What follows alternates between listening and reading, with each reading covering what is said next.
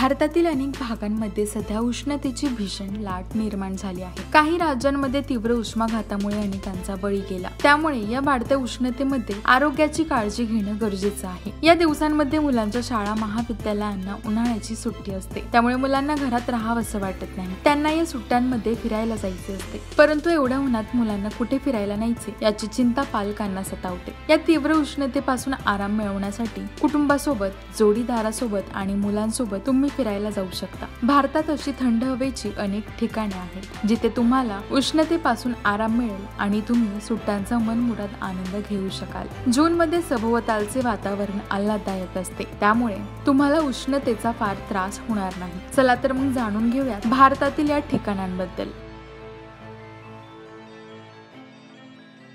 ईशान्य भारतातील एक लोकप्रिय पर्यटन स्थळ म्हणून तवांगला ओळखलं जातं. हे एक सुंदर हिल स्टेशन आहे. अरुणाचल प्रदेशमध्ये हे ठिकाण स्थित आहे. सध्या तवांगचं कमाल तापमान एकोणीस अंश सेल्सिअस आणि किमान तापमान नऊ अंश सेल्सिअसच्या आसपास आहे. त्यामुळे भर उन्हाळ्यातही येथील वातावरण थंड आहे. या थंड वातावरणामध्ये तुम्ही कुटुंबासोबत मुलांसोबत आणि जोडीदारासोबत निवांत वेळ घालवू शकता. तवांगमध्ये तुम्हाला बर्फाळ प्रदेश दऱ्याखोऱ्यांचा भाग आणि उंच झाडांचा नजारा पाहायला मिळेल. यासोबतच येथील प्रेक्षणीय स्थळांना तुम्ही भेट देऊ शकता.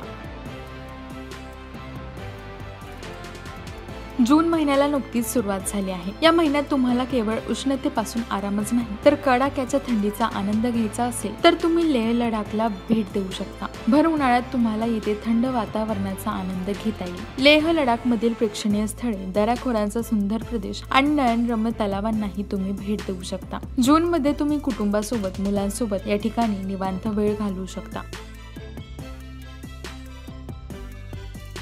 उत्तराखंड राज्यात स्थित असलेले हे हेमकुंड पर्यटकांचे प्रमुख आकर्षण आहे. जून महिन्यात हेमकुंडचे कमाल तापमान नऊ अंश सेल्सिअसच्या आसपास असते. त्यामुळे उन्हाळ्यात तुम्ही या ठिकाणी कुटुंबासोबत मुलांसोबत फिरण्याचा मनमुराद आनंद घेऊ शकता. जून मध्ये या ठिकाणी फिरायला जाण्याचा प्लॅन जरूर करा.